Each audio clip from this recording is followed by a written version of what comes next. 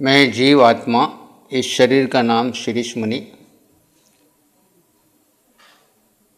पाँच बातों से मैं बहुत प्रभावित हुआ। स्वास्थ्य, शक्ति, आनंद, ज्ञान और प्रेम। प्रत्येक व्यक्ति को ये पाँच वस्तुओं की आवश्यकता होती है। शरीर को स्वस्थ रखने के लिए आध्यात्मिक रूप से स्वस्थ वो है जो स्व में स्थित है, वही स्वस्थ है। शरीर को स्वस्थ रखने के लिए मल की शुद्धि आवश्यक, लेकिन हमारी सोच थी कि हम दवा से ठीक होते हैं।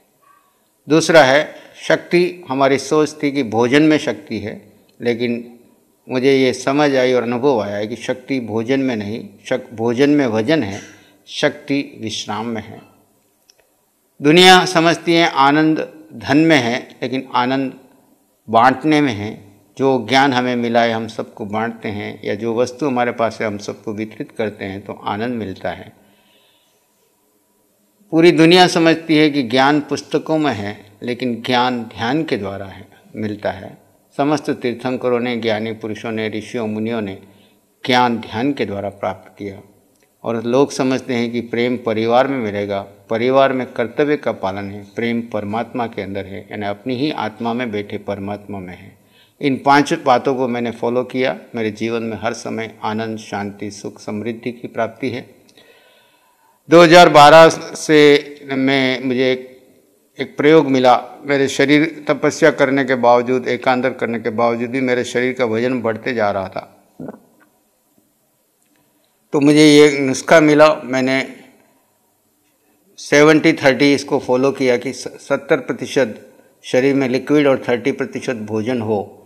और उसमें अधिकांश भोजन प्राकृतिक हो तो उससे मैंने अपने शरीर का वज़न करीब 12 से 13 किलो वज़न कम हुआ और तब से 10 साल से 65 किलो वेट में मेंटेन था। अभी अचानक एक बार प्रदीप शाह से चर्चा हुई और उन्होंने उसी थ्योरी को पुनः बताया कि nature law and diet system के अंतर्गत प्राकृतिक नियमों के अनुसार हम पाँचों विगय का त्याग कैसे कर सकते हैं? अग्नि रहित और अनाज रहित भोजन के कैसे अपन जीवन जी सकते हैं? लंबी चर्चा के पश्चात मैंने एक प्रयोग करने के लिए इस पद्धति को अपनाया और करीब दो से ढाई महीने मैंने प्रयोग किया कि प्राकृतिक भोजन, उपवास इत्यादि के ऊपर रह करके शारीरिक, मानसिक और आध्यात्मिक स्वस्थता प्राप्त की। 24 घंटे शरीर हल्का रहता है और जीवन में हर समय आनंद, शांति, ध्यान की क्षमता बढ़ गई और आरंभ समारंभ रहित, यानी घी, तेल, दूध, दही, मक्खन, मिठाई आदि से वंचित रहते हुए भी उतनी ही शक्ति, उतनी ही स्फूर्ति के साथ और अनाज रहित भोजन करके भी हम जीवित रह सकते हैं, अच्छी तरह तप कर सकते हैं, अच्छी तरह साधना कर सकते हैं और अग्नि से ही भोजन को प्रासुक बनाया जाता है, ऐसा आवश्यक नहीं है। हमारे शास्त्रों में अनेक विधियाँ हैं कि जिससे हम भोजन को प्रासुक बना करके ले सकते हैं और शरीर को स्वस्थ बनाकर और एनिमल प्रोडक्ट के बिना भी हम अपने जीवन को प्राकृतिक भोजन के साथ रह सकते हैं। ये मेरा अनुभव है और हमारे गुरुदेव आचार्य भगवंत भी काफ़ी इस पद्धति को अपना करके अपने शरीर, स्वास्थ्य 80 वर्ष की उम्र में भी अपने शरीर को स्वस्थ रखते हुए साधना में तीव्र गति से आगे बढ़ रहे हैं। उन्होंने भी इसको फॉलो किया और अपने स्वास्थ्य को मेंटेन करते हुए साधना में निरंतर आगे बढ़ रहे हैं। मैं समग्र समाज को ये प्रेरणा देना चाहूँगा कि आप ज़्यादा से ज़्यादा इस प्राकृतिक भोजन पर रह करके, आरंभ समारंभ रहित होकर के अपने शरीर को स्वस्थ रखते हुए अपने जीवन में आनंद, शांति, सुख और जीव का ध्यान करके आत्मा से परमात्मा बनने का पुरुषार्थ करें। निरंतर आत्म ध्यान के द्वारा जीव का कल्याण की ओर आगे बढ़ सकते हैं। ओम शांति।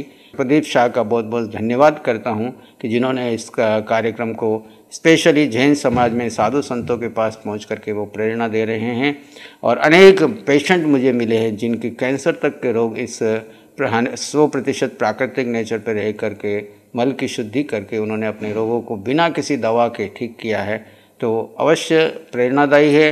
अपने, हम अनेक दूसरे प्रत्याख्यान करते हैं। वैसे पाँचों विगय का प्रत्याख्यान करके इनकी बताई हुई रेसिपी से अगर आप श्रावक समाज इसको अपनाएगा तो हमारी साधु समाज काफ़ी स्वस्थ रह करके अपनी साधना में बहुत आगे बढ़ सकती है। ओम शांति।